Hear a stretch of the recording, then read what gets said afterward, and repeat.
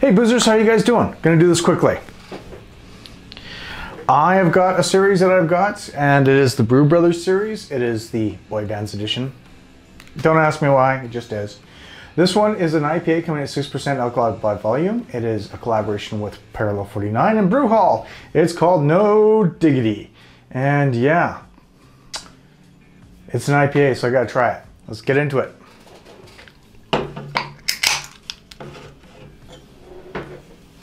And this goes out to Dave Mustaine. Dude, get better. He was announced today that he actually has throat cancer.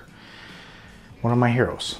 Well, one of my favorite singers of all time. Even though he's got some shit. Anyways, this is about the beer, not about that. We'll get into that later.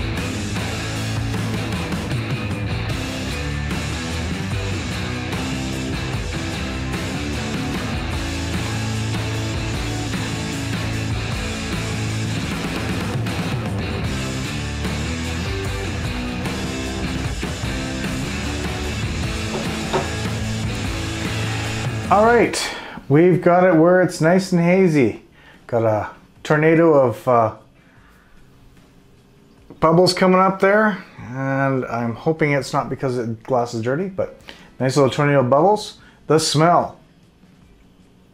Mmm, got a little bit of a juice note on there. The tropical hops are in there. It smells delicious. Cheers, guys. Got to get into it.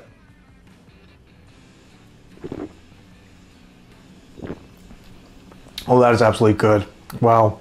Have the passion fruit, I have the papaya, I have almost like the mandarin in there, and just some great notes in there.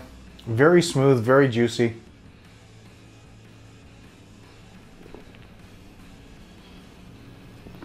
Very easy to drink. Do have a bitterness on there, so it does have that bite, but overall, that's a damn fine beer. Well, folks, gotta go eat. Have you had this before? Do you like it? Do you not like it? Do you think it's good, bad, indifferent? I want to hear your thoughts. Till next time, folks, I am PK saying cheers. Stay frosty. We'll see you next time. Yeah, we'll see you next time again. You guys have yourselves a great night.